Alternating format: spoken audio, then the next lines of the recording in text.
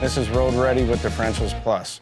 Today I wanted to talk about the dreaded check engine light on your vehicle. Some things to think about when a warning light comes on. Is it on solid? If it's flashing, that's something that requires you to pull over immediately because it's something that could damage other components within the engine and leave you stranded. We here charge a diagnostic fee, but it's so that we can spend the time to properly look at the vehicle and tell you exactly what's wrong and not waste your hard earned money. With all the local parts stores doing free diagnostic scans, it's never more important to come to see a professional. By spending a little bit of money up front on the diagnostic, you'll probably save money on the back end by getting it right the first time and not just trying a part. Thanks for tuning in to Road Ready with Differentials Plus. For more information, come see us at 6714 Middle Valley Road. You can call us at 423 355 1872 and visit us at differentialsplus.com.